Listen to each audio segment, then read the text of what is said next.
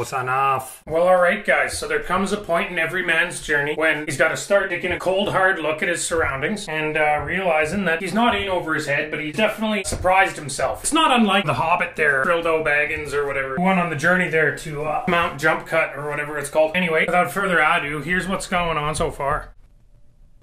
Sorry for the unsavories. Pretty much what she's looking like so far. So next step in the operation here, which is cutting a little trim piece down there and uh, installing a little reducer rig to go from the floor to the carpet. All right, so let's get to it. All right, guys. So we're gonna need a little piece to go in here between there and there. Man, there's just debris's everywhere. Eh? We also need to remove this piece here, this transition piece. It's pretty ugly. It's not that great looking. Install a little piece of wood underneath there, bring it up to floor level, and then we'll have the transition piece screwed into that piece of wood to go from here to there. We'll obviously cut that to shape. Uh, anyway, to pull this off, you just get something underneath it and you just give her one of those. Try not to damage the door too vigorously. I've already damaged her, guys.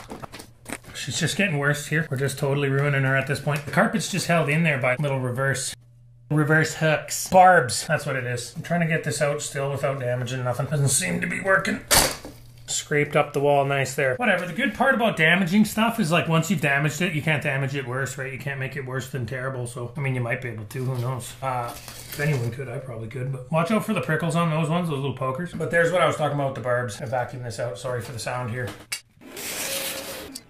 So you see down there underneath the carpet? Ah, got something in the hand. There's uh, little nails for where the carpet uh, will hook onto. I'm just to vacuum this out quick.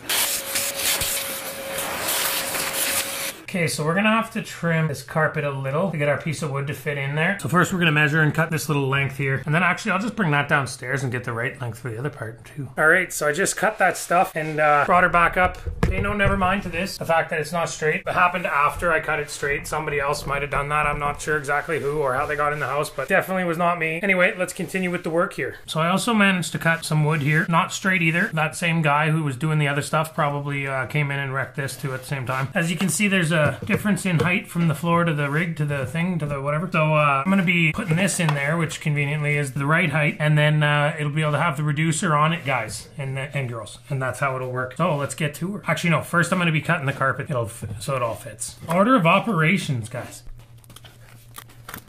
Nothing like dirty carpet scratches to get your night off on the right foot.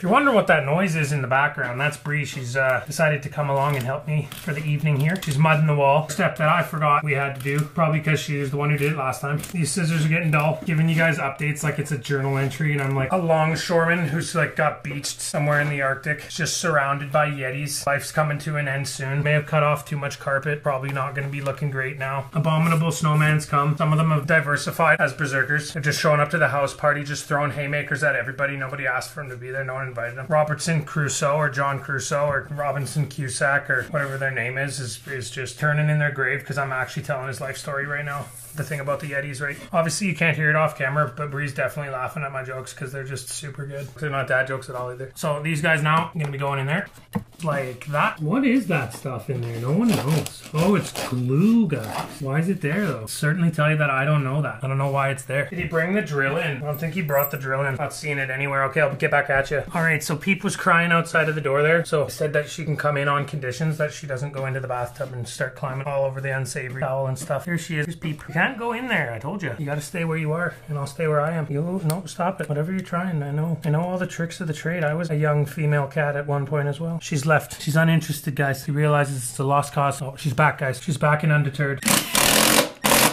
brought up like six or seven of these guys, but you probably only need the one, it looks like, right? Just get the one to hold her down, guys, and just leave it from there, right? Just said he's gonna do one and hold her down, and then he does tries to do two.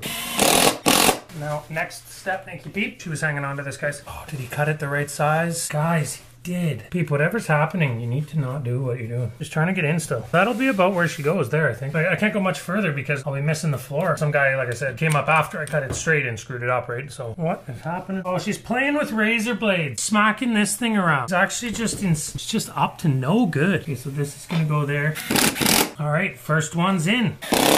Second one's in. Third one's in. Fourth one's in too far. Fourth one's stripped. Oh, she's trying for another move. Okay, we're almost there. Peep, quit trying to attack me. Oh, her bowl's there. She just wants water. Gonna have a hell of a time with the audio with that because it's gonna be loud, right? Oh, there she goes. You see her coming out of nowhere. This is what we have to deal with. This little one. Okay, we're almost done here. Okay, so now you just line up to see there's a little channel there and there's a channel down here. Obviously this is going in. This is called a reducer piece and you're to be wanting to use the, uh, the, see how it, okay, see how it kind of goes down on the one side? This is your side that's to be on the floor and this is your side that's to be on the carpet. So let's try it. Line her up. Easier said than done. You're want to line up the other side and then I found it easiest if you push down in the middle. And guys, that's all right. That's looking all right, guys your reducer piece. Now you got a nice transition. All you gotta do is slap on the baseboards and call her good, right?